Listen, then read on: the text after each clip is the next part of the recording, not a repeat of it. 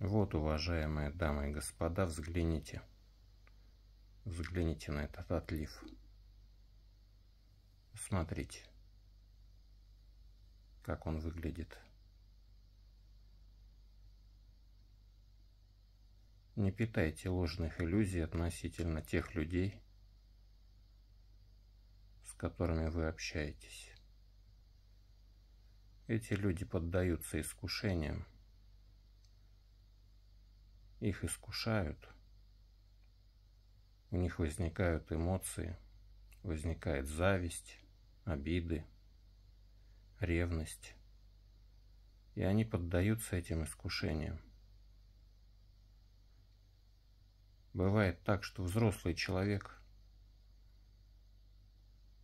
с очень хорошей энергетикой, либо уже обзавелся талисманами на защиту. И тогда злопыхатели делают порчу на самых беззащитных, на ребеночка.